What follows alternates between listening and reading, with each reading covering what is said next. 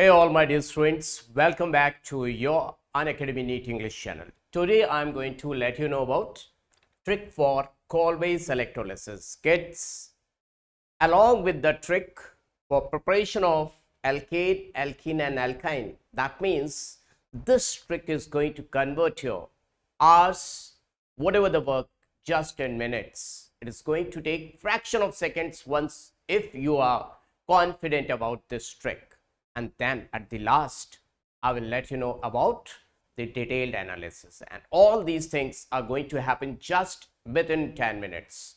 So stay tuned. Let's see the Kolbe's electrolysis for your alkanes preparation. Any type of alkane. Mark my words.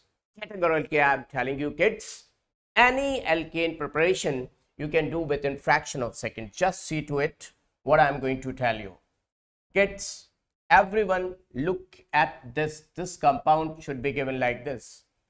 Either the sodium salt or the potassium salt that is the aqueous salt of any sodium or potassium salt of carboxylate ion and here is the current. Only this much will be provided in your exam. Now how to do the question? See this one is the sodium salt of propanoate let us take propanoate what you're supposed to do just in your examination this part. You have to focus on this part kids and just do one thing. Break it from here in the examination. Right now it might, may might take some time but in the examination once if you have practice over it then definitely you just combine this part with this part. Means these two parts you are supposed to combine and what you got? You got butane. What? You got butane. Now at anode at anode you will get this butane CH3 CH2 then this CH2 and that's CH3. This much you got at anode. I will let you know what happens in at anode that in your detail analysis. But right now, see this butane and what you got along with butane, you got this carbon dioxide at anode only. This carbon dioxide at anode only, 2 moles of carbon dioxide, 1 mole of alkane, then 2 moles of carbon dioxide. That means at anode, you got total 3 moles of gases, 3 gaseous moles. Total you got 3 gaseous moles. Now kids, this part I'm going to tell you will take place in the solution. See to it NaOH.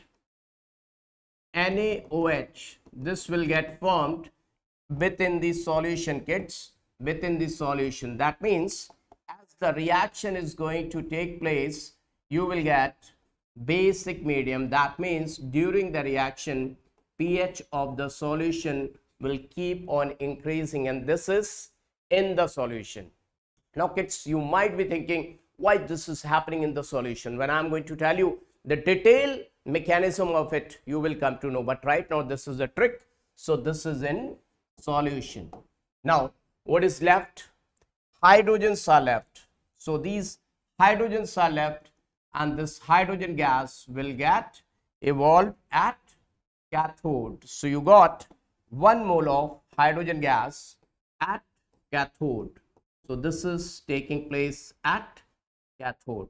I hope this is clear to all of you. Three gaseous moles at anode and one gaseous mole at cathode. So whatever the question is going to come in exam, what alkane is going to form, what the pH effect during the reaction and what is evolved at cathode. Now see to it, kids. This is for alkene preparation. Sodium oxalate. Now same thing you are supposed to do kids just take it out So you can see if you're going to take this thing, what are you're going to get? Just see CH2 already bonded with CH2. Now these two electrons, these two electrons combine them and then you will get ethene. Now 2 moles of carbon dioxide. Now kids, do let me know if you are able to understand these two gaseous moles are getting formed at at anode at anode. And what is? You are getting at cathode. No no this is in the solution. That is at cathode. Do remember. Anode cathode. Anode and cathode so in between anode and cathode, what is there? That is the solution. So in this solution, you are going to get 2 moles of NaOH. So pH will keep on increasing. Now kids, if you are able to understand this alkene preparation, I'm going to move towards alkyne preparation and let me show you and just try to find out what you are supposed to do. This is sodium malate, you know, Ohm's gap. I have told you oxalic acid, malonic acid, succinic acid, glutaric acid, adipic acid, pimelic, pimellic acid. So whatever the sodium salt or potassium salt of this acid has been provided, what you are supposed to do? Just divide it from here and will form another bond. Means one more bond will be formed and what you are going to get at anode definitely at anode you will get acetylene gas whatever the alkyne gas. And along with that now you can do within your brain you can do within your brain that you will get carbon dioxide 2 moles of CO2 so all these 3 moles you got at anode and now at cathode what you're going to get definitely you will get hydrogen gas, H2 gas. Now kids, what is in the solution? Kids, do let me know. Yes, the NaOH, 2 moles of NaOH you got. So the pH of the solution will keep on increasing. So in this way, you have seen that how to prepare immediately alkane, alkene, alkyne, any type of alkane, any type of alkene or alkyne methane can't be prepared by this reaction. Now I'm going to tell you the detailed analysis. This is electrolytic tank. You know very well you must be studying from class 9 10th. This is electrolytic tank and electrolytic tank is provided with two terminals. You can say one is being anode attached with positive terminal of the battery.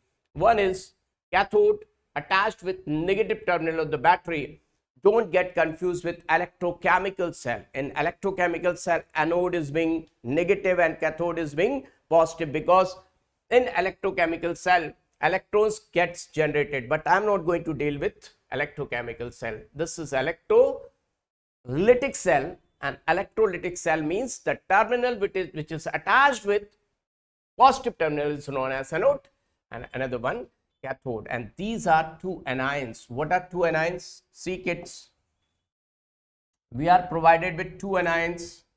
CH3 CH2 C double bond O O negative and OH negative. These are two anions and definitely anions will move towards anode because opposite charges attracts this is having negative charge that is having positive charge so there will be attraction in between negative and positive. But do remember, two types of ions are moving towards anode, but both can't get oxidized. What I'm talking oxidize? At anode, always oxidation takes place. Always oxidation takes place. And at cathode, always reduction takes place. Whatever the cell is there, electrochemical cell or electrolytic cell, at anode always oxidation, at cathode always reduction. Oxidation means what kids? Loss of electrons. This you have to know. Loss of electron. If you are dealing with electrolytic cell, you should have to know, you should have to have this much of knowledge that oxidation means loss of electron and reduction means gain of, yes, yes, yes, electrons.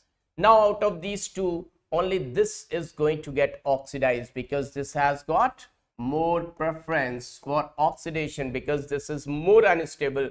So loss of electron by this CH3, CH2, COO negative. Whenever any anion is losing electron, this will become as CH3, CH2, C double bond O, O free radical. If I take 2 moles, this 2 moles, then 2 electrons loss will be there. Now, carbon dioxide is very good leaving group. So, CO2 will eliminate out as free radical that homolysis you can see homolytic cleavage, homolytic cleavage, homolysis. So, you got 2 moles of CH3, CH2 free radical and this electron will form bond with that it will form carbon dioxide 2 moles of carbon dioxide and these two combine to form C4H10 now kids these two electrons definitely will be gained by some cation. Now two types of cations we are having H plus and Na plus.